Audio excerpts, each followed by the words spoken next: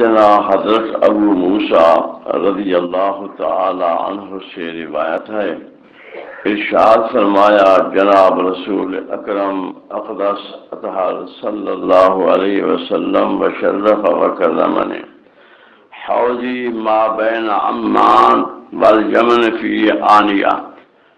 اللہ رب العزت قیامت کے دن میدان حشر میں جس وقت اتنی پیاس انسانوں کی ہوگی، زبان باہر نکلی ہوئی ہوگی، دل نکل کر حلق میں آ جائیں گے۔ قرآن فرماتا ہے قلوب حناجر کاظمین کہ کیا ہے؟ دل نکل کر حلق میں آ جائیں گے۔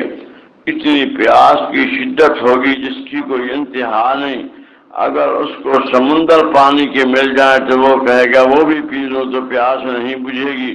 اتنی شدت والی پیاس میں اللہ رب العزت نے ہمارے نبی مکرم صلی اللہ علیہ وسلم کیا حوض عطا فرمایا ہے، جس کا نام ہے حوض کوثر۔ وہ اتنا بڑا حوض ہوگا، عمان سے لے کر یمن تک۔ یعنی سیاہ مدینہ منورہ سے شام کی طرف عمان پڑتا ہے اور یمن جنوب کی طرف پڑتا ہے۔ اتنا بڑا حوض ہوگا میرے نبی علیہ السلاط وسلام کا جس کی کوئی انتہا نہیں۔ فی فی آریت عدد نجوم السماء۔